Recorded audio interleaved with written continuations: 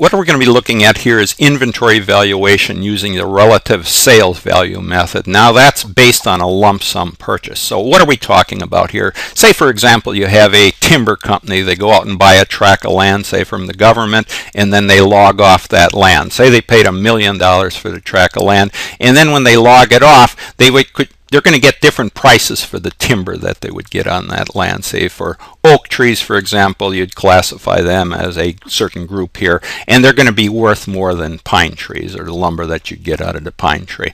So this is how you would uh, you would classify. You take this lump sum purchase, and then you break it down here by a grouping of some amount here to determine your uh, uh, uh sales and your cost here on that product. And for our simple example here, we're going to be looking at a, uh, a buying a tract of land here and we're going to divide it up into lots. So what we've done here is we've bought this tract of land and we've broken it up here into different lots. And these lots here have different sales values. They're either larger or smaller or they're a better location. So we, what we do here is we group them here. We in this case, we broke them up into lots A, B, and C, and each has a different sales price here. So what we have to do here is we have to, uh, we have first have to determine the total sales price here. So we would take the quantity that we allocated for the particular group here, say group A, the quantity of lots that we have on group A here, 9, times the sales price for this lot here of $6,000 gives us a so total sales price on those 9 lots here of $54,000. So we would do the same here for uh, a are uh, lots classified as B and C. So you determine the total sales amount for each one of those class of or groups of lots here and then you would sum those up here and you're going to get a total amount here of $250,000 for all of the lots that we would have here for sale. Now this is the key here. This is where we come up with this relative sales price here. So what is this relative sales price? Well that's the value of each unit here by allocating the total purchase cost based on the relative sales value here. So let's look at it for item A here, lot A. Uh, total sales price was $54,000 here, and then uh, divide that by the total amount here for all the lots of $250,000. So you come up with this relative sales price, this fractional amount here. Uh, 54,000 divided by 250,000 here would be, uh, I'm not sure what the percentage is, but it is a fractional amount here. And then you take that times our your total cost here. In, in this case, our total cost here for those lots, uh, we had um, bought some unimproved land for 110,000 and we stuck 60,000 improvements into those lots here. So a total cost here was $170,000. So you take this fractional amount here, this relative sales value price here, times the total cost that we have allocated and just look at for uh, lot A here. We come up with the cost allocated per lot here. Uh, in this case, the $36,720. That fraction or that relative sales price, that fractional amount amount here times the total cost here for lot A gives us our total allocated sales uh, cost here for those lots of $36,720. So that uh, this 36 uh, 7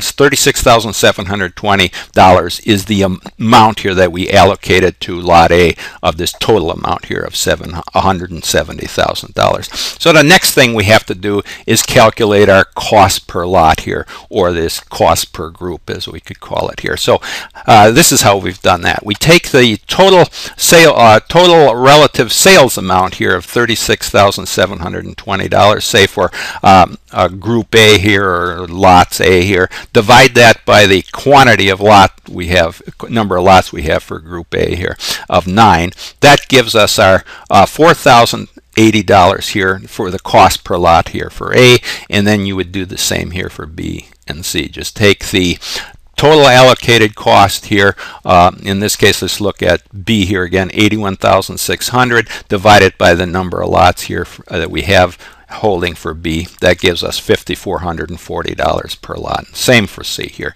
Now, using this cost per lot or this cost here per group that we have, we can determine our cost of goods sold and our gross profit. So let's go down and look at that here. So again, I've broken that down here by year here, the quantity of lots sold. And uh, let's just look at that here. Say the beginning of the year here for A, we would have nine lots here. At the end of the year, we had five. So we sold four. The difference here gives us four uh, sold for the year. So take your quantity lots sold here times these cost per lot. Remember, quantity sold here. We had four here for A times the cost per lot. That was the cost that we calculated up here above here. So uh, for A, four times uh, lots here times $4,080 cost per lot gives us a cost here for the lots sold here of $16,320 for the year here. So we do here the same here for B and C. The cost per lot times the quantity of lots sold gives us our cost of lot our cost of lots sold here or the cost of the group here sold for the year here. So you just sum up those total amounts here and you can see your cost of goods sold is 106,000 $80. Now, to determine our gross profit, well, we have to take our sales here. We have to determine what our sales here for the year was for each of those groups, A, B, and C. And let's just go look at it here. So sales for the year here, uh, we just take the sales price times the quantity sold here. For item A, sales price was 6000 times 4 lots sold gives us $24,000. So We've done that. We'll do that here the same for uh, B and C here. So our sales amount here, uh, A here, let's say is $24,000 here, less the cost of the lot that was sold, $16,320, gives us our gross profit here. The difference is $7,680. So the, do the same here for B and C. So our gross profit here, total amount was $49,920. Okay, now let's go down and let's just determine our, look at our ending inventory, how we could calculate that. So the cost allocated for the lots here. First we start with that. $170,000. So I told you before here we have track of unimproved land here for 110,000 plus we added the cost here to improve this this uh, tract of land to sell those lots of $60,000. So our total cost here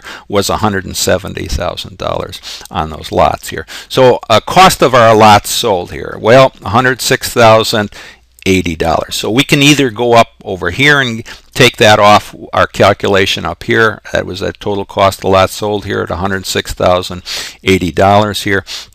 So we'd be subtracting that here from our cost allocated to the lots here, our total allocated cost here in the lots, and that would give us our ending inventory here. The difference would be our ending inventory here at $63,920. Now we can also go down here and we can look at calculating this ending inventory in another fashion here. So we would take their total cost here, divide that by the total sales. Say our total cost was $170,000 divided by the total sales. That was the total sales amount that we initially calculated for all those lots here of 250,000. So dividing that out, we're going to come up with like 68%, approximately 68% here. So now we would just take the sales here that we had for the year, $156,000 times that percentage here, 68%. So we're going to come up with uh, $106,080 here. So um, taking uh, $170,000 here, the total co uh, cost allocated to the lots, less the $106,080 here, that was our cost of goods sold that we calculated up here. That sales times that 68%.